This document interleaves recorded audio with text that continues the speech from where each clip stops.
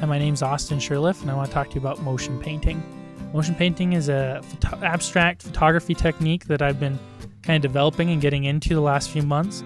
I was first inspired by another photographer at Photoshop World who likes to take expo- long exposures while in a moving vehicle to get kind of a neat, blurred, painterly look.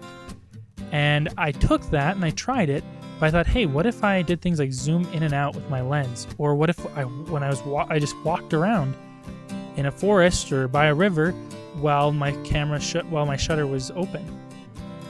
Trying all these different techniques, I came up with a lot of different fun looks that I really like. Some you can kind of tell what's going on and kind of get a feeling for what the objects are. Others are very abstract and kind of more shape-based or line-based. For me, the big idea, the whole the whole hope is to kind of express emotion. Try to capture some sort of a mood or emotion with the look this abstract these abstract photos.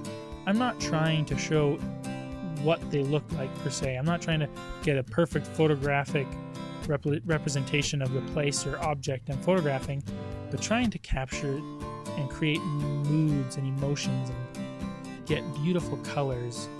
For me, it's a type of fine art, and I do it for myself. I don't do it to sell. That's not my goal, at least, my end goal.